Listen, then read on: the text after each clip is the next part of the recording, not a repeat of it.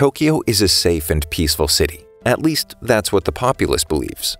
The DA, a secret organization of highly trained orphan girls, Lycoris, simply erases any threats, making the city's problems disappear, maintaining its manicured image. A fellow agent is taken hostage during an arms deal. Disobeying orders, Lycoris Takina opens fire, ending the stalemate. Having botched the mission, she's dismissed from the DA's headquarters and transferred to a branch operating out of Cafe LycoReco. Apparently, there were no guns at the scene. Mika, the branch leader, finds out later. Hanging up the phone, the DA's commander reveals that Takina is merely the fall guy after a hacker going by Walnut on the dark web infiltrated their system. Mistaking Mizuki, a former DA member working at the cafe, for her new partner, Takina is surprised at how different Chisato is from the other agents. Despite being a top-tier Lycoris, she's supposedly a bit of a problem child. After completing their rounds for the day, Takina asks what Chisato's branch actually does. She simply says their job is to protect people. They receive a bodyguard job for a stalker case. When they meet the victim, they realize she unwittingly posted a photo of the arms deal, the real one, three hours before the Lycoris agents arrived.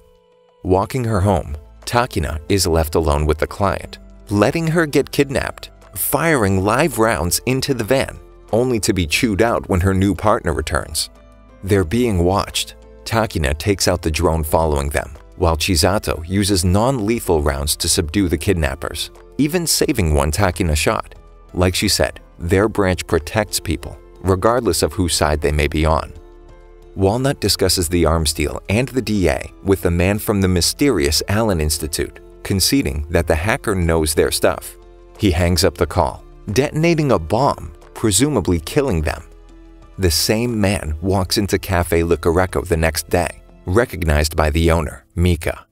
Walnut discovers he's been sold out after his dummy apartment is destroyed, right from the horse's mouth another hacker named Robota and contacts the LycoReco branch. The Alan Institute finds impoverished geniuses and assists them with whatever they may need without cost. The man from the institute, Mr. Yoshi, is a regular at the cafe. Walnut hires Chisato and Takina to protect him from assassins and intercepts them heading to the meeting place. Wearing a squirrel costume, claiming to be Walnut, they enter the car which is remotely taken over by Robota. They notice the drone following behind and manage to take it out, stopping the car right before driving into the river. After ditching the car, they're surrounded by armed men in an abandoned supermarket, although Walnut appears to be more concerned with his luggage than his own life. Chisato tells them to go ahead without her while she patches up one of the injured mercenaries, warning her they're walking into a trap. But it's too late. Walnut steps out the back door getting gunned down by multiple assailants. Robota reports the success to Mr. Yoshi, while the girls get discouraged upon failing their mission. It quickly turns into shock when the squirrel sits up, and then anger when Mizuki takes off the head. It was her the whole time. The suit is bulletproof and filled with fake blood. The real Walnut emerges from the yellow suitcase, revealing herself as a young girl, the exact opposite of their expectations. She uses the translation kurumi when they ask her name. They bring her back to hide out at the cafe and enlist her help finding the arms dealers when Mr. Yoshi enters, inquiring about what Chisato and Mika really do for a living. Takina still hasn't warmed up to the new branch members yet, let alone their clientele. She refuses to join them for board game night, keeping her distance. Overhearing Chisato is due for her physical exam at DA's HQ, she insists on going with her. The other Lycoris are spreading rumors about Takina trying to kill a fellow agent. Chisato discovers that her and Takina's former partner, Fuki, is taking the exam too. She confronts the commander about Takina's transfer and the newfound evidence. Despite the commander's best efforts to dismiss the accusations, Fuki accidentally mentions the radio interference that caused Takina to take matters into her own hands. She didn't disobey orders after all. At the firing range, she meets her replacement. The DA has no intentions of letting Takina return. They challenge each other to a mock firefight, trying to prove that she's not useless. Chisato consoles her, telling her about the communication error. Despite being a scapegoat, there's nothing she can do but move on. Hugging Takina only embarrasses her further while other agents continue to gossip. Chisato waits, toying with Takina's replacement during their mock firefight. She can easily dodge every round at close range. She disarms her, tossing back her weapon to humiliate her further. When Takina shows up, she sucker punches Fuki as payback before taking her out, winning the training match. The commander explains that Chisato is a genius when it comes to predicting bullet trajectories based on sight alone. Even at point blank range, it would be difficult to hit her. Afterwards, Takina decides to join the cafe's game night, having a newfound respect for her partner. She smiles for the first time. Now open to the idea of using non lethal force, Takina has a hard time hitting anything with Chisato's bullets. She opts for regular rounds. She'll just graze them. It'll be fine.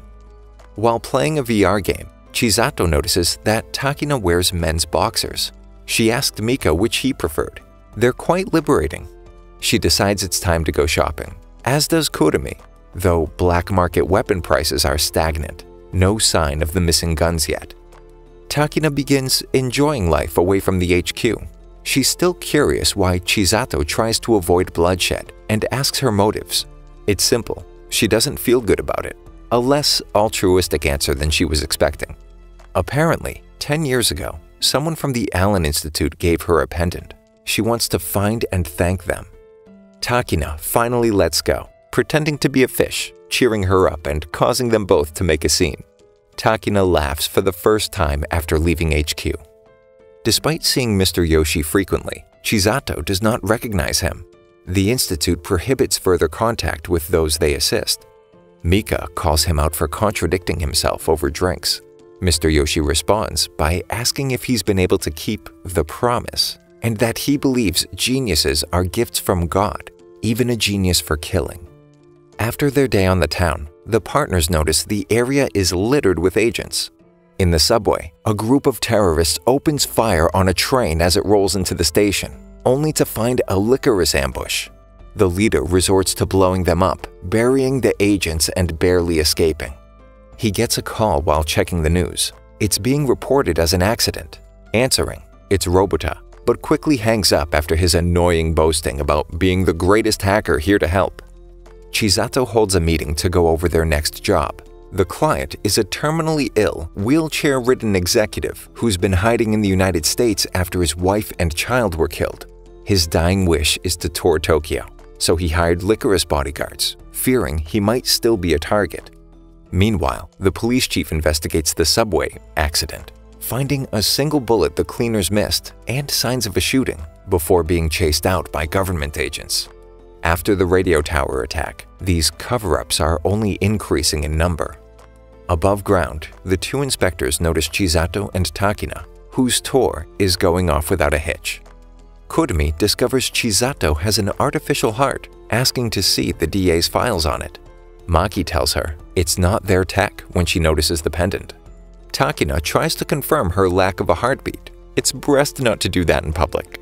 Well, that and an assassin, Silent Jin, is hot on their tail. Mika worked with him 15 years ago. He's the real deal. After taking out Kurumi's drone, he captures Mizuki before she can power on the backup. Takina leaves Chisato with the client. Jin appears behind her almost immediately. It's a good thing Mizuki managed to plant a tracker on him. The client catches on, guessing it's the same man who killed his family. Takina tackles him before he shoots Mr. Matsushita, whose actual request is to watch Jin die. A bit hardcore when it comes to sightseeing. Something's off. He knows Chisato is one of the Alan Institute's investments. It turns out Mr. Matsushita doesn't really exist his voice and wheelchair being controlled remotely by a member of the Institute. The terrorist group baits another Lycoris.